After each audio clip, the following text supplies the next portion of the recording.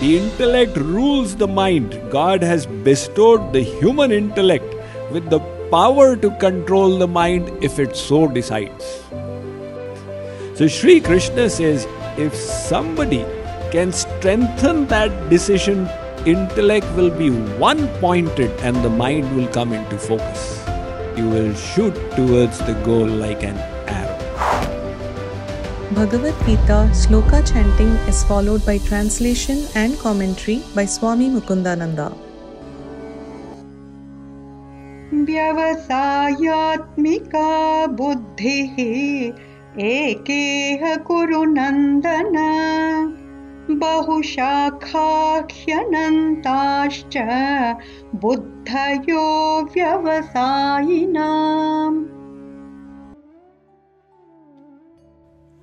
O descendant of the Kurus, the intellect of those who are on this path is resolute, and their aim is one pointed. But the intellect of those who are irresolute is many branched. He says that Arjun, in order to traverse this path, you will need a resolute intellect. See, we have come to this point that you need to give up attachment. Now, this attachment to the world happens in a variety of ways. One is positive attachment. The object of your attachment, the wife or the husband or the children or the parents or the ice cream or the chocolate, the mind keeps going there again and again and again. Sitting here, if your mind is repeatedly going to chai, so you can understand the mind is attached to the chai, the tea. That is why the thought of the tea is coming again and again. But that is positive attachment. The scriptures say even if you are negatively attached, that is also attachment. In other words, if there is hatred, whom do you hate? You know, that fellow, he did bad to me three years ago. So, you know, listen, listen, he's so bad, listen, he's so bad, he did this, this to me, he did this to me. Now, the same bhajan kirtan is going on. Just like in positive attachment, your mind goes there. Similarly, in hatred, also your mind goes there. So, whether you love the world or you hate the world, either way, the scriptures say your mind is attached. Or you fear the world, or you envy the world or you detest the world, or you loathe the world. All this is a different forms of attachment. If somehow you attach your mind to God, Gopya Kamat Bhayat Kanso Dvesha Chaidyadayo Nripa. Gopis they got attracted to Sri Krishna. Whatever way their mind went to Sri Krishna, the mind got attached to the Supreme Lord and they all got purified. Because when the mind goes to something pure, it becomes pure. And the reverse, in whatever way we bring our mind to the world, the world consists of the three gunas, the mind becomes dirty. So, detachment means that you are neither to love the world, nor to hate it, nor to fear it. Kabira khada bazar mein sabki mange khair. Na kahu so dosti na kahu so vair. Na dosti na dushmani. Neither friendship nor hatred like a mother. She has lost her son in the fair exhibition. So she's looking around, where is he gone? Where is he gone? From a distance, she sees the one little boy there, and she thinks it's her child. So she goes running, Beta, Beta. She reaches the child and sees, oh, he's somebody else. Immediately she becomes neutral to him. That is detached. She doesn't say, All right, now, not my child, never mind, let me lift up this child and hug him and get motherly love from him. Nor does she start fighting, I thought you were my child, why did you turn out to be somebody else? Was my mistake. I thought he is my child. He is not really. Forget it. Similarly, detachment means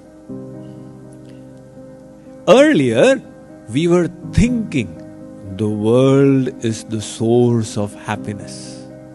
And we were running after the world. One million, two million, three million. Now we understood there is no real happiness in the world. What to talk of 3 million, those who've got 30 billion are not happy. So we have become detached. We don't start fighting. Why are you doing this? Why are you doing that? Why are you doing that? We become neutral. What am I supposed to do? Living in this world, I am supposed to go towards God. Let me focus upon that. So, detachment means neutrality. Sri Krishna says that in order to develop that kind of detachment, Arjun, you will need to have a resolute intellect. In other words, your intellect will have to tell you be firm in this knowledge the world is not mine. The world does not have the happiness that I want.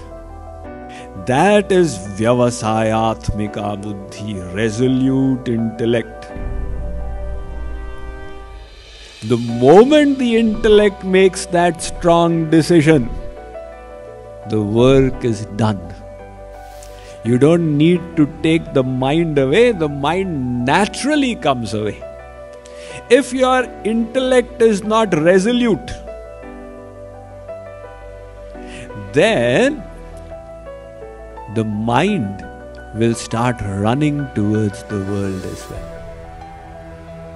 Yesterday I discussed that the intellect rules the mind. Any of you, if you so decide, no matter your favorite food item may be in front of you, if you are confirmed there is poison in it, you will never take it.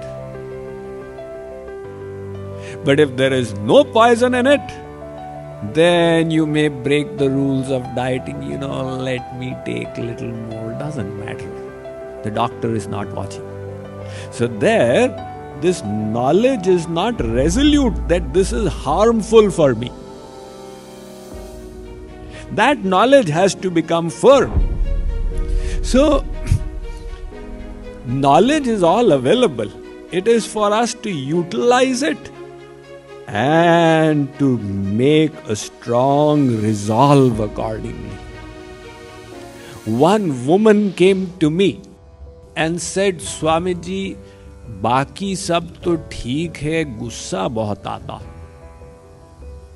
Everything else is all right, but I have a lot of anger in me.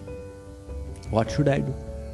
Give me some gem of knowledge to destroy this.